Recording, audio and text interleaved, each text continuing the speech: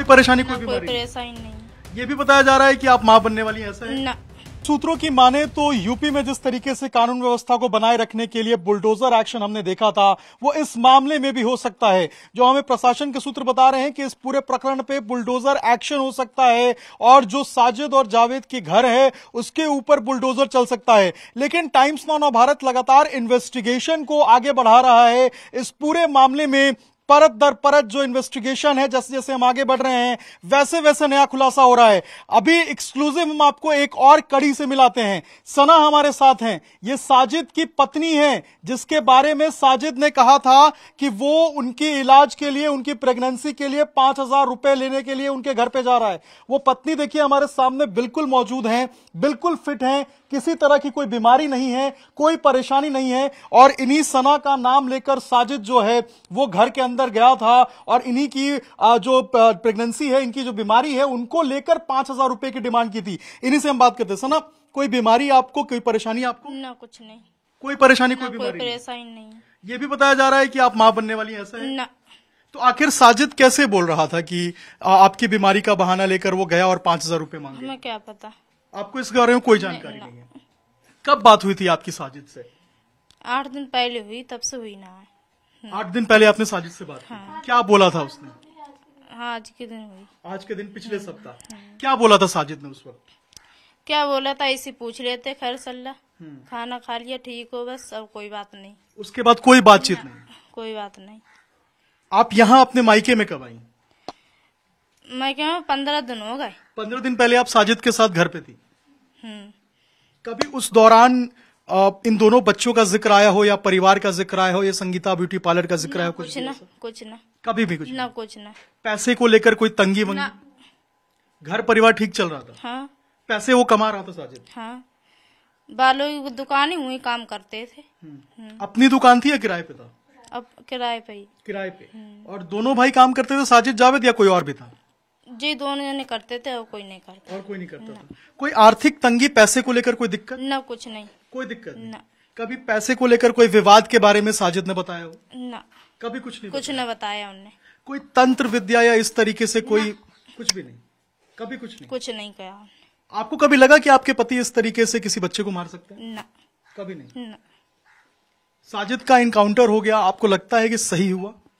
जैसा उसने किया। क्या बताएँ अब हम तुम्हें? बिल्कुल। आपको नहीं पता कुछ भी। देखिए, बिल्कुल इन्हीं की बात को लेकर, सना को लेकर लगातार साजिद जो है, वो गुमराह करने की कोशिश कर रहा था। सना को बीच में ला रहा था, लेकिन सना तो यहाँ है अपने घर पे। पंद्रह दिन से अपनी माँ के घर पे है। बिल्कुल फिट एंड फाइन है, बिल्कुल अच्छी है, स्वस्थ है, एकदम खड़ी हैं और कह रही हैं कि इनको तो पता ही नहीं है कुछ। तो आखिर वो क्या कारण था कि बार बार साजिद जो है, वो सना को इस पूरे मामले में खसीट रहा था?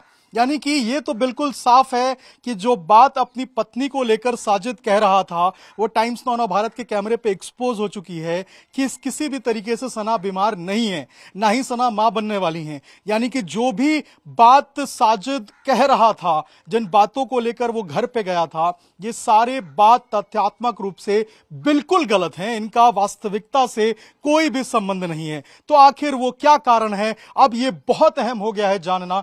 सना कभी जावेद के बारे में आपको कुछ पता हो या कोई बातचीत करने की कोशिश की कोई जावेद से? ना कभी ना। कभी नहीं। अच्छा आप जब घर में रहती थी तो जावेद आता था जाता था उसका व्यवहार कैसा था जावेद का? जैसे रहते थे वैसे भैया भैया अपने दोनों जने रहते थे सलाह से।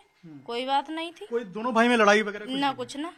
कभी दोनों भाई ने कोशिश की हो आगे काम को बढ़ाने की या पैसे को लेन देन के बातचीत? कुछ ना। कुछ भी नहीं? ना।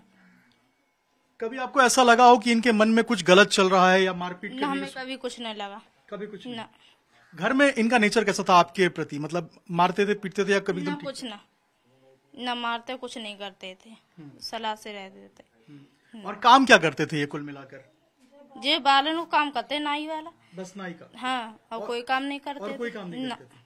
और इनकी दोस्ती किन लोगों के साथ में थी? जो हमें क्या पता अब इनकी। हम्म। और कोई बातचीत जो आप बता सके हमें? ना कोई बात नहीं थी। और कोई बात नहीं कितने साल पहले आपकी शादी हुई थी? चार साल हो गए मैं शादी को पची लग गई। चार साल पहले हुई थी आपकी शादी? चार साल आपकी शादी को हो गए हैं।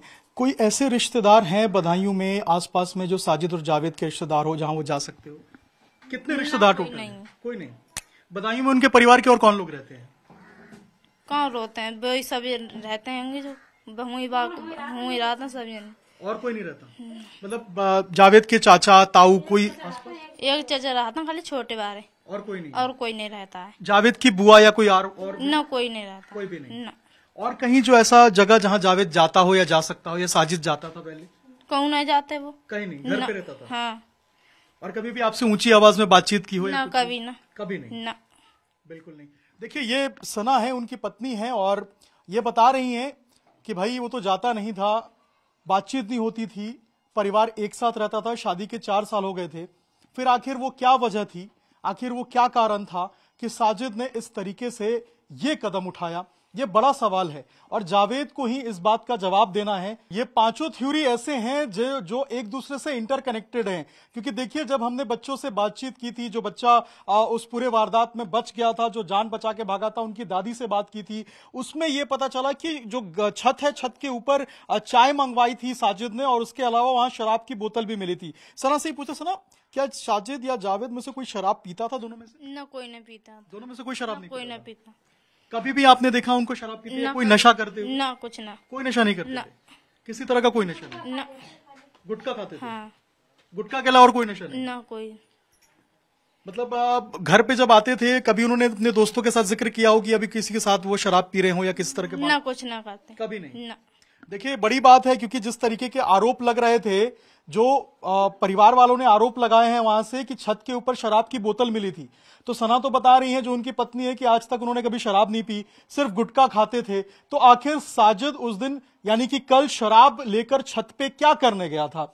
दूसरा थ्योरी जो पाँच हज़ार रुपए को लेकर बार बार जो परिवार बता रहा है कि अपनी पत्नी की बीमारी को लेकर प्रेगनेंसी को लेकर जो है वो पैसे मांगने पहुँचा था। तो पत्नी तो फिट एंड फाइन हमारे सामने खड़ी है। तो आखिर वो पहुँचा क्यों? पहला सवाल ही और दूसरा कि पाँच हज़ार रुपए उसने मांगे क्यों? तीसरा सवाल ये जो थ्योरी निकल के सामने आ रही है कि क्या इसके अंदर किसी तंत्र विद्या या कोई और चीज़ जो है वो इन्वॉल्व है? इससे पुलिस अभी नकार नहीं रही है। पुलिस कह रही है कि उनकी जाँच जारी है और जब तक जावेद नहीं मिलता है, तब तक जो है उस थ्योरी के ऊपर पूरे तरीके से नकार पाना मुश्किल है। हालाँकि सना कह रही है कि ऐसा कुछ भी नहीं था, कभी उन्होंने सुना नहीं इसके बारे में नहीं उनको किसी ने इस बारे में बताया है।